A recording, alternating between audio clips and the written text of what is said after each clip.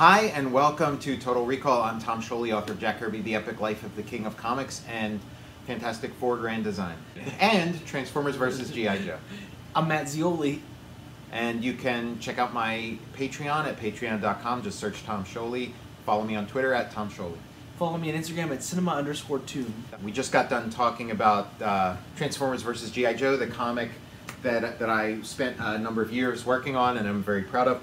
And now we're going to talk about the trailer for the upcoming G.I. Joe movie Snake Eyes, the Snake Eyes origin story. I think it's just called Snake Eyes, or is it called Snake Eyes Origins or something? I think it might just be called Snake Eye. Oh, oh wait, Snake Eyes, G.I. G.I. Joe, Joe Origins. and that's coming out in July. yes, really looking forward to it. I mean, Snake Eyes, G.I. Joe is an ensemble. Transformers is an ensemble. But if, you know, push came to shove, uh, and you had to make a G.I. Joe main character, it would be Snake Eyes. If you had to make a Transformers main character, it's Optimus Prime. Like it, like like if if these if if they stopped being an ensemble and you know, so it's like yes, Snake Eye. You, you take away everything else as long as you got Snake Eyes, you're good to go. When I was like really little, like I would, I would think Snake Eyes is is was bad just because like I'd be like Storm Shadow is good because he's he's dressed in white, and then like Snake Eyes is evil. But that then I was like, okay, Well, yeah, it's like the visual language of Hollywood and all that kind of stuff is is like you know cowboy movies where it's like the cowboy with the white hat is the good guy and the cowboy with the black hat is the bad guy. So you're kind of like yeah, following that that um, conditioning, you know, that, that we got from movies. as far as like the GI Joe uh, movies go, I love them. Uh, yeah, they're they're they're two for two. Like oh, or, or like for the live action ones, they're two for two. I love both of them. But then like yeah, the GI Joe animated movie from Yes. 1986. Oh my god, 87. But- well, I can't remember the year Yeah. on that one, but that like shook me to the core. Oh, yeah. When um, who who was killed? I can't. Uh, Duke? Duke. Uh, yeah, it sounds like it really it, it, uh, it wiped your uh, brain out. For, it, yeah, that's how much it affected you. And then and uh, it sounds like it sounds like Uh. it rendered you comatose. yes, it, uh, yeah, you uh, you just like passed out and uh, lost a portion, like, or you're blocking it out because it was so Traumatic. I'm repressing it. It's a repressed repressed memory. Well, so, you know what? So repressed, I can't, You can't probably, recall it. You probably don't remember the ending of the movie because the ending of the movie, there's like this voiceover saying, "Hey, Duke's okay," because they were going to kill him, and they animated it as such. Animated movies being very expensive, and then they screened Transformers the movie, and kids freaked out over Optimus Prime dying. So like, okay, we're not going to do this to Duke too. So they added, "Hey, Duke's going to be okay." Roll that beautiful bean footage. like they're they're they're at um, Duke's funeral and they're like lowering him him into the ground and I was like Duke's gonna be okay. just his hand like punch out of the ground. They everyone screams. they they they draw like there's just like this bad drawing of a hand like Poochie on you know bad drawing of a hand. Going, hey, Duke's gonna be all right. I just got word. Duke's gonna be okay. Yippee! He's laying in his casket. They're- an they're- open yeah, casket. and they're all like at the funeral, and they're all like crying about, and, and it's like, hooray, yippee, Duke's gonna make it. they're all like dressed in black. yeah, he's like he's he's already he's like embalmed and stuff. He's like his sunken cheeks. And they're like they're like I think he's gonna pull through. and uh, you know, uh, uh, Scarlett's like pounding on the on the coffin, like. no, he's in, he's been cremated. Yeah. There's an urn there. Like Yeah, they're sprinkling his ashes. And like, hey, Duke's gonna make it after all. But yeah, so I understand why you forgot, why, why you were super traumatized by seeing Duke get killed, but then forgot all, uh, who it was that got killed. Now, was it, uh, you know, was it Skidmark? Which GI Joe was it that got killed? Serpentor. Is it Serpentor? The th- Yeah, it's a really weird way to go. he, like, throws the. Is it like, he takes a snake, straightens it like Thulsa Doom in Conan, straight, straightens it out, makes it into a spear, throws it, and then this like snake. Like think about it's like they talk about like like in the Robin Hood Prince of Thieves movie where he's like, I'm going to carve your heart out with a spoon, and it's going to hurt because it's it's not sharp because it's blunt. It's like yeah, that must really hurt having like this snake's head uh, penetrate your chest. Because uh, Serpentor was like, I canceled Christmas. GI Joe cartoon movie before I ever saw like the Arnold Schwarzenegger uh, Conan. I think I saw Conan the Destroyer before that, but I, I hadn't seen the original Conan with Thulsa Doom and stuff. So then, when I finally did see, you know, that and see Thulsa Doom take a snake, go like a, turn it into an arrow and like shoot somebody with it, I was like, this is so cool. This is like this is like a cool version, uh, you know, of the GI Joe movie. that, you know. Uh, in on the cartoon too, when like the planes blow up and they like parachute out, or like Yeah. sw- swapping out like machine guns for like laser lasers yeah you know how about that that animate that intro for the animated movie? Like that's like some of the best animation i've ever seen oh, like, of like, like the pre-credit sequence. And i from what i understand it was something that, that like the animators just like it wasn't part of the the script or anything. It was just the animators kind of being like hey what if we you know let us take the lead for a minute? And and so they were just like freestyling and improvising and made this like incredible sequence Um, almost like a mini movie in itself. So yeah, th- let's talk about the Snake Eyes trailer. Like, did it like? What was your reaction to it? I was vibing out on the uh, just the feel of it. It, it reminded me of kind of like um, Well, I mean, it really was like a teaser. Like, you didn't get too much. like a fa- like Fast and the, Fast and the little, Furious, little yeah. fast like um, a sprinkling of Fast and the Furious, uh, a sprinkling of not really the Matrix, but like there's another another like couple like few Yeah. movies that like I mean, I am not up on my like action movie. Like, I've never seen any of the. Uh, I haven't seen any Jason Statham movies. I, so I'm not up to. date. So I'm sure there's like a bunch of stuff I'm not, you know, versed it, in. yeah it's, it feels like That's very influential. also maybe like a Christopher Nolan's like Okay, uh, like yeah. Batman Yeah, it, yeah. It looked like I didn't see CGI. Like it, it seemed like a lot of practical. Practical. stuff. Again, we're just seeing like quick glimpses. I was kind of excited just from like some of the, um, some of like the press surrounding it that like Larry Hama is like you Yes. know in, directly involved. I'm not sure sure what I saw credit he got. some featurettes uh, briefly too. I know we're just getting tastes of it, but he, Yeah. he's like on he's on, on the set. Yeah, that's That's awesome. not, isn't that cool? yeah, that's cool. That that that's that says a lot. You know that that that uh, you know like they're they're doing it right basically. Yeah. You know, we got Scarlett, we got Snake Eyes, we got the Baroness, you know, got Storm Shadow. Like you can't do a Snake Eyes movie without Storm Shadow. Oh, that's ex- like the the. It's exciting that Henry Golding. I, I like him. I've seen him. Uh, I think he's a good choice for uh, you know the leading Yeah, role, and uh, that's exciting. And I guess uh, He's like yeah, his first action movie He- maybe. he was in the Gentleman. I think it's a Guy Ritchie movie, but I haven't seen that. Okay. yet.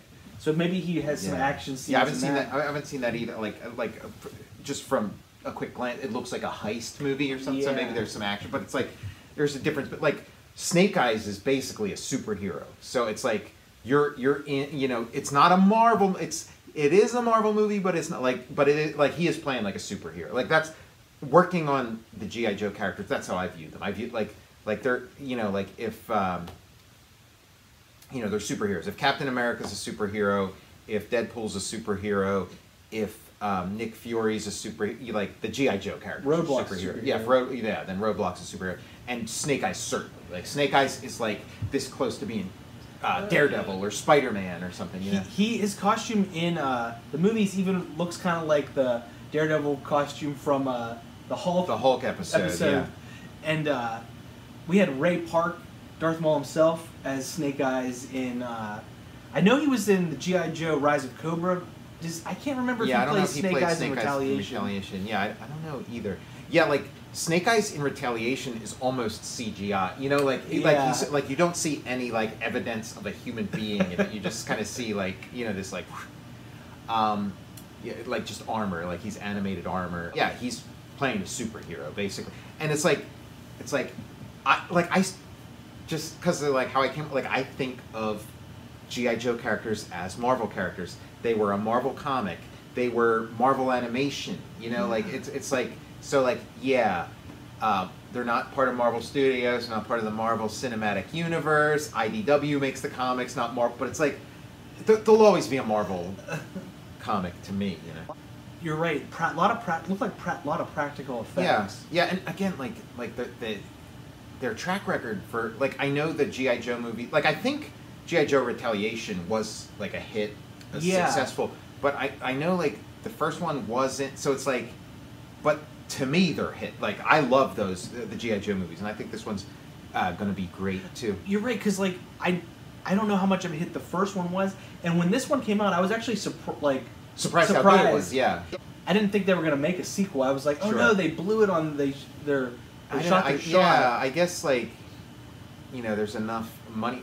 Uh, The just- Rock has a lot of juice, probably. Yeah, the juice. Uh, uh, the, the juice. I call it the rock. The juice. The the rock probably. The juice don't want to let the juice loose on the, the set of The Rock- retaliation. The Rock might have been responsible for this movie getting made. I think like, that's- like if he came in and was like, "Hey, I love GI Joe when I was a kid. Let's make." Like if he if he got his muscle behind this, that could help. They're like green light. Yeah. You know, Roadblock and Duke are such a great pair, and like the idea of like making you think it's going to be a Duke and Roadblock movie, and they like great swerve, and um, and just like in the com- like Duke and Roadblock were a great pair in the comics. Like they are introduced in the same issue, and they make like this amazing entrance. Like they just kind of you know they just kind of take over the comic. It's it's like so beautiful. So it's like cool seeing like a movie that centers around them. But we're talking about Snake Eye. Uh, yeah, Snake. Eye- I didn't I didn't see the Rock in the cast list for Snake Eye. So what I if, what if he shows up like as a, as a surprise cameo? Yeah, and he starts shilling his uh, new tequila like Terramont.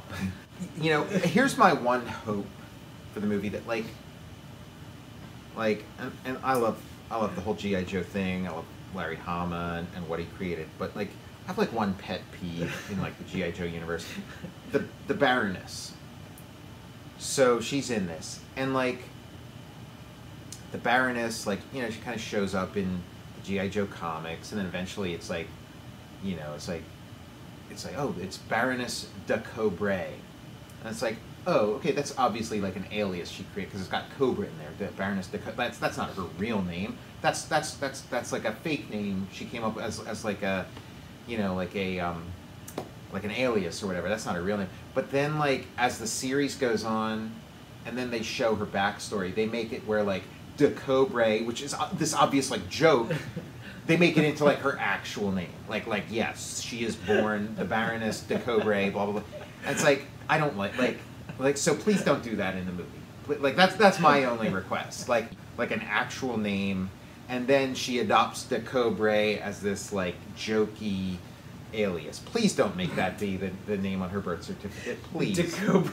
De Cobrae. Uh, yeah. It's like a character's like does an alias like Phil McCracken. Phil- exact- And yeah. then like they like elaborate on like he comes from a long line of McCrackens or whatever. Yeah, yeah. Um, Pat McCrotch. right. Yeah. You yeah, s- d- you Dick should- hurts. Please, that's my that's my only request. Uh, yeah, Phil McCracken, Jack Meoff. Jack Mayhofer. yes, please, please. Let's let's let's do away with, with this uh, DeCobray thing. I I had the time of my life when I saw GI Joe Retaliation. So like I'm you know, and and and and like the, in GI Joe Retaliation, there's this beautiful like see, it's almost like like a um, digression or something where like you know there's all this stuff that's going on in the story, and then we like digress to this like elaborate set piece with like um, uh, the blind master and all these like sort of like red ninjas and, and snake eyes and storm shadow. It's, it's like amazing set piece. It's just so much fun and it's like to get a movie that's like all that you know is, is you know sign me up. And I, I like how they're like different. Like I like in in uh, GI Joe Rise of Cobra, it's more like over the top and like Mhm. kind of like not in a bad way, like a little more sil like like Yeah, like more going like for broke, comic-y, yeah. like going for broke. And this one's you know a little more on the action side. I I love them both. in the GI Joe cartoon and the GI Joe comics, you could have like a total reset of the team where it's like, okay, one issue it's this team and it's these guys, and then the next issue it's like a totally different set of characters. You know, like maybe like one character, in, but like because it's like this big team, you can, and and like I really like that too, where it's like Rise of Cobra is like a bunch of you know of the GI Joes, and then um, Retaliation is like a completely different set of GI Joes that are like as much like as prime time, you know, as as the ones in the first. one. It's like okay, you don't have Scarlett, you have Lady Jaye. You know, you don't. Love it. You know, so it's kind of cool. Stephen Sommers, who did the Mummy, he's got his Mummy players. Arnold Vosloo in the Mhm. house as uh, I think Zar is it Zartan? Zartan, yeah, yeah, great. Zartan was was so good in this. I, when I was doing Transformers versus GI Joe, I'm like, okay, yeah, who's Zart? Like, I gotta have Zartan kind of like infiltrate and be somebody, you know, like be in disguise, you know, Yes. be somebody in disguise and really do some damage from from the inside. So in, uh, in Transformers versus GI Joe, Zartan was Wild Bill. Like he like Oh, yeah. impersonates Wild Bill, and then he like commandeers Wild Bill's helicopter and starts like decapitating people with with the helicopter I love that. And then, like like um, like Planet Terror from from uh, oh help when when you know the helicopter starts killing all those zombies. That's The like a cool yeah. That's like a cool um, kind of like action set piece, like a way to have like just this small team survive this like big attack that takes out the whole you know the whole rest of the team. jump down the well. I'm I'm hoping Doctor Venom will show like because they, they they had like in the first one they had a part that could, would have been a, a perfect fit for Doctor Venom, but they made it Doctor Mindbender instead. Larry Hama, like and and he he like doesn't read anybody's uh, GI Joe comics except his his like and and uh, you know he said like the characters just mean too much to him. They're too personal. He just can't do it. He can't read it. And, and he said like you know like Chuck Dixon is like one of his best friends in comics, and he doesn't even read Chuck. And he's the one who got Chuck Dixon the job writing GI Joe comics, and he doesn't even read Chuck Dixon's GI Joe comics. He just can't do it. But like Larry created this amazing character of Doctor Venom, this like really great character, and then like you never see him again in the GI Joe comics. Never see him again. And then Transformers versus GI Joe, I bring Doctor Venom back with a vengeance. Yes. Like I turn him into like an a like he like he's an A list character in my GI Joe universe. Um, you know, and and then maybe like a year later or whatever, you know, after this long absence, Larry Hama brings back Dr. Venom and brings him back in a big way. And I, I can't help but think like, okay, maybe maybe he read my comics, maybe he didn't read my comics, but maybe he got word about this really cool rendition of Dr. Vent. So it was kind of, you know, you know what I mean? Like, Uh, yeah, where there's smoke, there's definitely Yeah. Doctor Venom. I mean, in any event, I mean, it's his guy. It's his like he like my Doctor Venom is a tribute to his Doctor Venom. So it's but what but like I think that happens sometimes. I think sometimes you know somebody creates something and then kind of forgets about it. And then somebody else comes along and is like, "Hey, that thing you created is really cool." And then it reminds them, it's like, "Oh yeah, that guy is pretty cool." And then they kind of bring him out of mothballs. That's you what know? I, Tom. I'm telling you, that's what happened. Hama was reading it, and he's like, "We got to get Doctor Venom back in action." Doctor Venom, uh, he's almost like a meta fictional character. Like like he demanded to come back. You know, like he demand and, and he's back. You know. and every time I, uh, when I when I read your um, Transformers vs GI Joe, when I see him in the comic, I'm like, I get, I'm like, I get surprised that he's, like, I'm like Doctor Venom because I, I didn't really remember him from like the act like Mhm. the toy line. Yeah, he's not part. He was That- never a toy. That I, Yeah. that's probably they probably like were like. Okay, any of these characters that you created for the comic, please kill them off so that we can introduce actual, you know.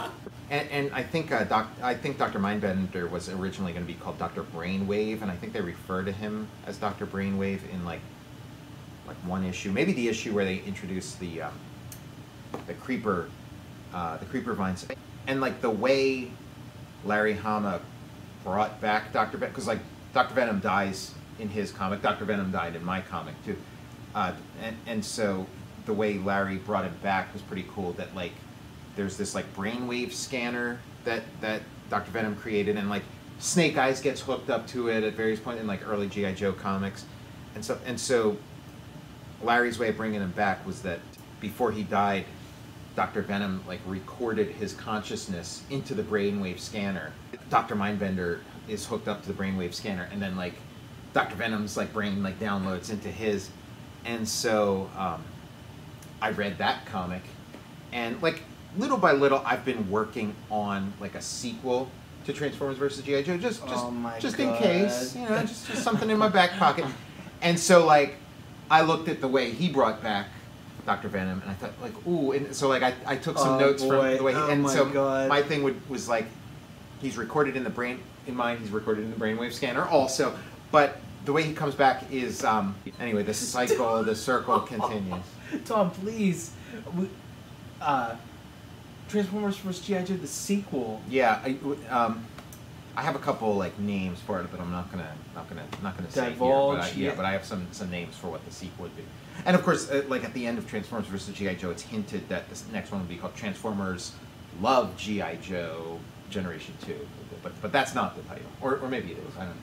just that uh, I think this is gonna be another in the in the a line of great GI Joe flicks. Me too, and hopefully it does so well that we don't have to wait like what, like eight years for Oh the next. Because it seems yeah. like there's a long, like we got this endless supply of like trans of like shitty Transformers movies, but and then it's like we get a great GI Joe movie, then eight years, then another great like- GI Joe movie, and then eight years. Yeah, like eight years between all these. Like, let's just keep them. You know, let's shorten that gap.